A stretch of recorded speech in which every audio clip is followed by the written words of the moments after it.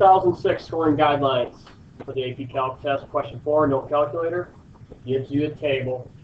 You're thinking Riemann sums, you're thinking mean value theorem, you're thinking a whole bunch of things, okay? It says rocket A has a positive velocity at t being launched upward from an initial height of zero feet at time zero. That's your initial condition. The Velocity of the rocket is recorded for select times of t over the 0 to 80 seconds as is shown above. All right?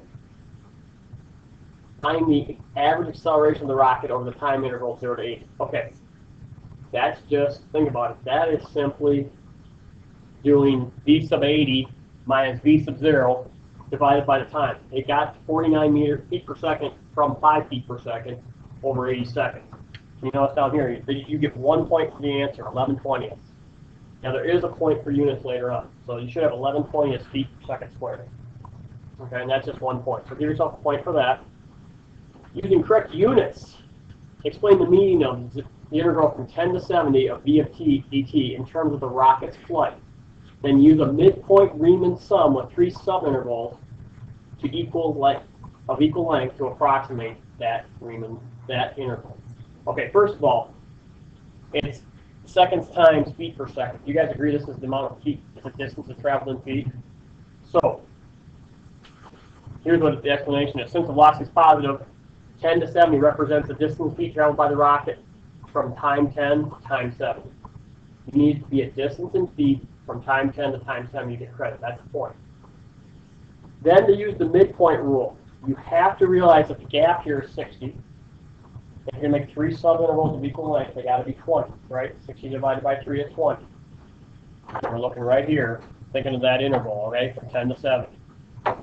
Now, if you're going to use the midpoint, all right, you have 10, 30, 50, 70.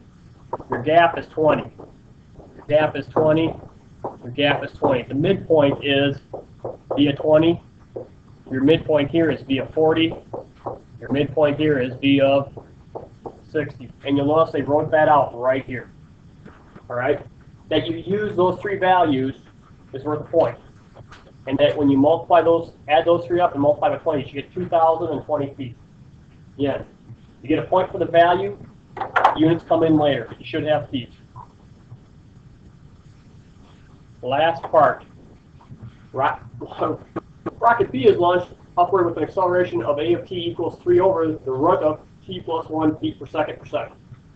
At time t equals 0, the initial height of the rocket is 0 feet, so launched from the ground. And the initial velocity is 2 feet per second. Which of the two rockets is traveling faster at time 80 seconds? Well, we know how fast rocket A is going. Rocket A, you guys agree, is going 49 feet per second. So we just got to figure out how fast is rocket B traveling at 80 feet. So we have to do the antiderivative of a sub t. So we have to do the integral of that function, okay, find b sub t.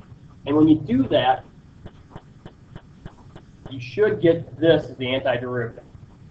All right, that's worth two points.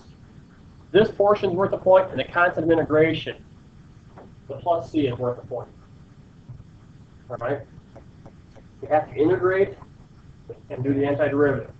When you plug in, and this is what you got to catch, it said at time 0 the velocity was 2. So when you plug in 0 for t, the velocity should be 2. And you do that and you solve for c, right? You should get the constant is negative 4. And they plug that back in. But they don't even give a point for the constant value. They just give a point that you used 0 and 2. For time 0, the velocity is 2. That's where the point's are awarded. So you have to see that step in your work. All right?